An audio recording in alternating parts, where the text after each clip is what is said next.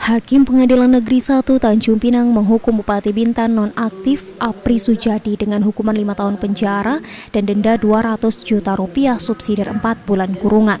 Dalam putusannya, Hakim memastikan Apri Sujadi terlibat korupsi pengaturan kuota cukai rokok dan minuman beralkohol di Badan Pengusahaan Kawasan Perdagangan Bebas dan Pelabuhan Bebas Kabupaten Bintan 2016-2018. Hukuman yang dijatuhkan majelis hakim pada sidang putusan ini lebih berat satu tahun dari tuntutan jaksa penuntut umum KPK yang sebelumnya menuntut terdakwa empat tahun penjara.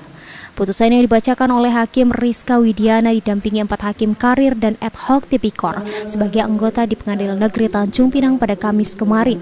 Dalam putusannya Hakim menyatakan kedua terdakwa Apri Sujadi dan Muhammad Saleh Umar terbukti bersalah melakukan tindak pidana korupsi secara bersama-sama dalam pengaturan kuota rokok dan minuman beralkohol di Bintan 2016-2018.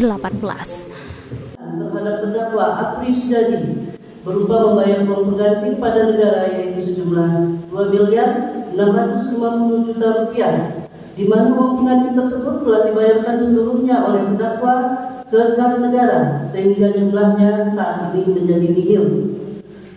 Empat, menetapkan masa penangkapan dan penahanan yang telah dijalani oleh terdakwa Apri Sujadi dikurangkan seluruhnya dari pidana yang dijatuhkan. Lima, menetapkan agar terdakwa Apri Sujadi tetap berada dalam tahanan. Enam, menolak penjatuhan pidana tambahan pada terdakwa Apri Sujadi berupa pencabutan hak untuk dipilih dalam jabatan politik.